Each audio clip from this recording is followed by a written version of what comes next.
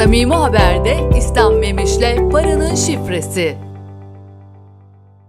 Samimi Haber'de İslam Memiş'le Paranın Şifresinden hepinize mutlu günler diliyoruz ve İslam Memiş yayınımıza hoş geldiniz. Hoş bulduk, iyi yayınlar dilerim.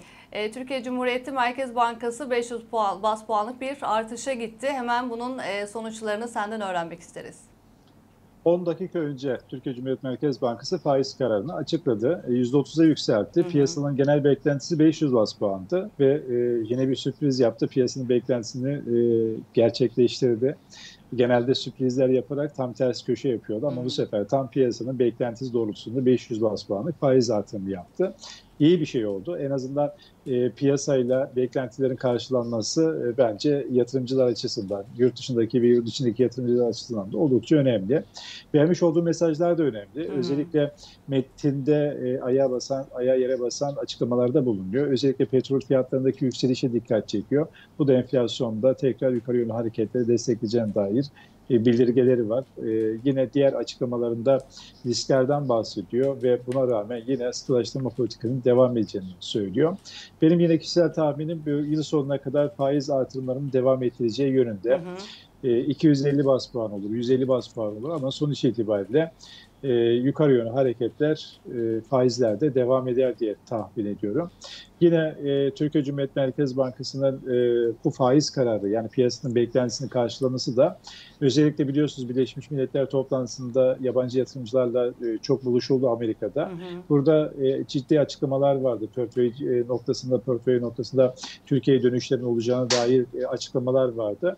İşte bu faiz artırımı ile birlikte beklentiler karşılanınca ister istemez yabancı yatırımcılar biraz daha ikna olur ve e, bu sermaye girişlerini biraz daha artırır. Bu noktada da pozitif bir etkisinin olduğunu gözlemliyoruz. Ancak e, ben yine e, Türkiye Cumhuriyet Merkez Bankası'nın faiz kararı e, öncesinde her ihtimale karşı yine dolar düşecek diye beklenti içerisinde olanlara bir mesaj yayınladım. Burada dolar tarafında bir düşüş beklemediğimi, hmm. aksine yükselişlerin devam edeceğini ben tahmin ediyorum. Özellikle yine yıl sonuyla alakalı 29.70 beklenti halen devam ediyor. Hem orta vadeli plan hem Türkiye Cumhuriyet Merkez Bankası'nın beklenti anketleri doların yükseleceğini işaret ediyor. E, o yüzden e, dolar tarafındaki toparlanmada hatta faiz kararı açıklandıktan sonra biz resmi kur tarafında 27-21 lira seviyesine kadar bir yükseliş gördük. Şu anda 27.07 e, seviyesinde e, dolar tarafındaki bu yukarı yönlü hareketlerde yıl sonuna kadar yine faiz kararıyla birlikte devam edeceğini düşünüyorum. Peki biraz daha geriye gidelim. Geceden e, bahsetmek istiyorum. E, Amerikan Merkez Bankası Fed'in de evet. bir açıklaması vardı. E, faizi sabit tuttu ama yine de bir sinyaller evet. verdi. E, yıl sonuna kadar yine arttırım olabilir diye. E, bunun bağlantısını da soralım hemen. E, Fed'in faiz kararı da piyasaların beklentisi doğrultusundaydı. Hmm. Pas geçti evet. ancak yine kapıları açık bıraktı. 2024 yılında veya yıl sonunda yine e, sıkılaştırma politikaları devam edecek ve faiz artımlarını devam ettireceğiz açıklamaları var. Özellikle Fed'in e, %2 enflasyon beklentisi var. E, en son %3.7 olarak açıklanmıştı. Hı hı. Muhtemelen önümüzdeki ayda %4 civarında bir enflasyon rakamı göreceğiz Amerika'da.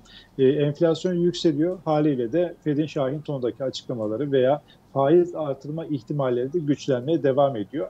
Fed'in faiz artırışından sonra dolar endeksinde bir yükseliş gördük. Emtia fiyatlarında bir gerileme gördük. Dolar karşısındaki bütün yatırım araçlarında bir baskılanma gördük. Ama TL ayağındaki enstrümanlara baktığımız zaman da burada herhangi bir gerileme olmadığını e, gözlemliyoruz. Peki tekrardan e, Merkez Bankası'nın faiz kararının açıklanmasından sonra Temmuz ve Haziran ayındaki beklentiler biraz yüksek geldi.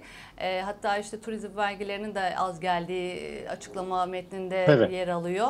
Bununla birlikte e, evet. e, bir de orta vadeli program vardı biliyorsun ki ona atıfta bulunarak evet. ne söylenilebilir? O %65'lik e, bir tahmin tutturma ne seviyede olur yıl sonunda? Evet yani zaten piyasanın genel kanısı da %68 civarında enflasyon tarafında hı hı. bir sürecin tamamlanması, 2024 yılında da %33 sınırıyla enflasyon tarafında bir frenleme olması.